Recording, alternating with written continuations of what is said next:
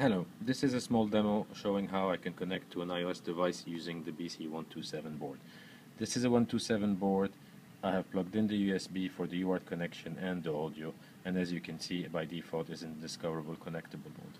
So I will go to the PC, I will launch the hyperterminal application, go to serial, open, open the port uh, and as you can see I can verify that it's in status connectable discoverable.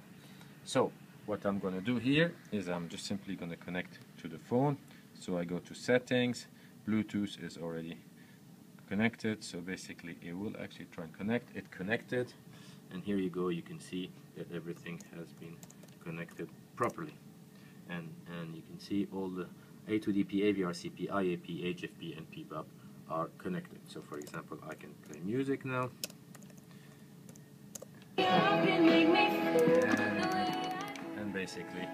I'm playing some music.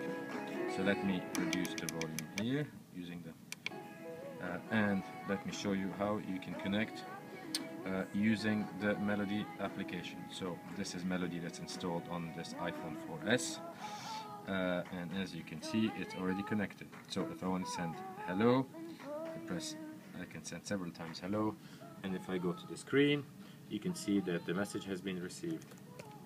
I can send now, hello, how are you? How are you? And as you can see here, I have actually done it and the, this so this allowed an iOS device to connect to a BC127 module. This is the dev kit and the module will via the UART send back anything it receives to the hyperterminal application as you've seen here. Thank you.